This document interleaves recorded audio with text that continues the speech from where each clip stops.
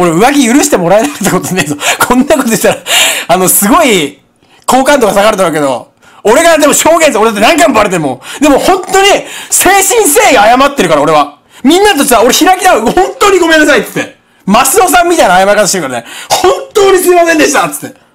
毎回土下座してるから。俺を捨てないでくださいっつって。俺突っぱねないからね。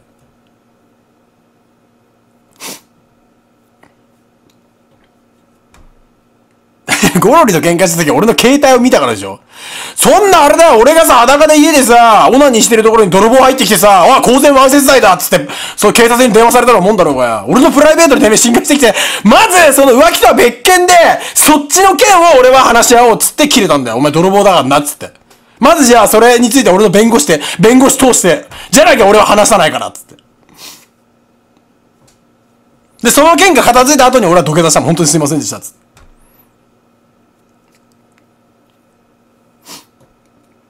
許すけど二度と忘れないからって言われたからな。ほんとごめんなさい、つって。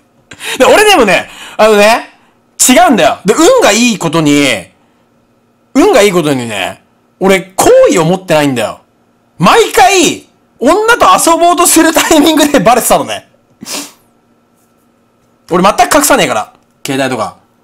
毎回俺が、ちょっと一回目バレた時は付き合って二週間目で俺はちょっとね、あの、もうちょっと俺のじゃあ懺悔させてくれ、ここで。懺悔。ゴルちゃんと付き合って二週間ぐらいに、で、俺は友達にね、飲み屋に誘われたの。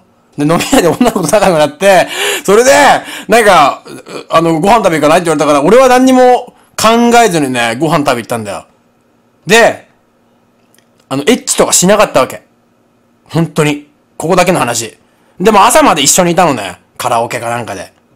で、帰ってきて、ゴールドに携帯見られて、まずそこで、本当に、一回目、わ、あの、謝ったのごめんなさいっつって。本当にしてないのね。俺してたらしてたって言うから。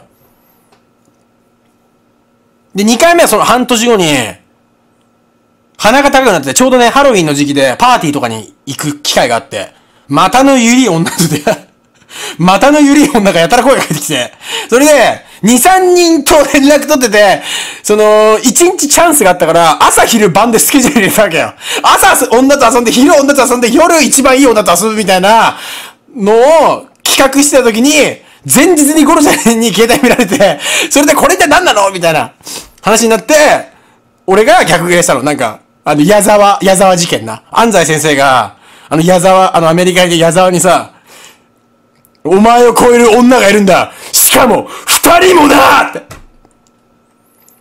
でもね、女の子って、その、一人、浮気してたらね、怒られるんだけど、三人同時に浮気すると呆れて、怒る、怒られなかったね、その時。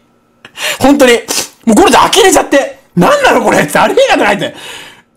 なんかもうさ、よく言うじゃん。戦争とかでさ、一人殺したら犯罪者だけど、100人殺したら英雄みたいな感じで。3人同時にやろうとしてたら、あ、お、呆れちゃって、ゴロちゃんが。怒られなかったわけよ。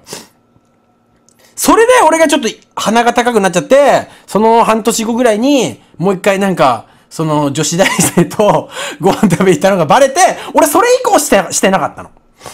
もう年も年だし、俺ももう限界なのかなって。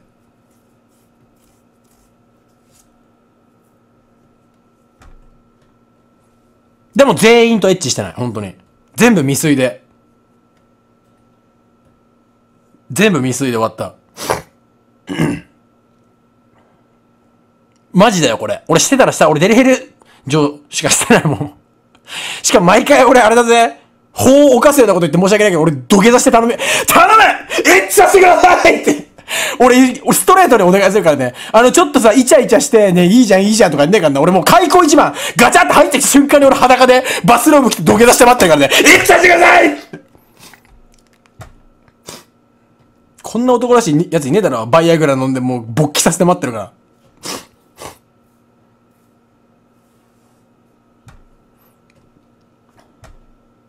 だそういうちゃんと、低層観念低くないんですよ。成功率0%。いいんだよ。そういうなんか遊びでいいんだよ。ちょ、トイレ行ってくるわ。